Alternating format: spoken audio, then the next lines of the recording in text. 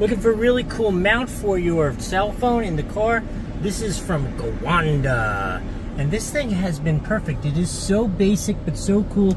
My personal favorite feature is this, which makes a big difference to us because if it's just that long, it's pretty unusable here in this big giant truck. But the fact that I can stretch it out, lock it down, makes it absolutely perfect.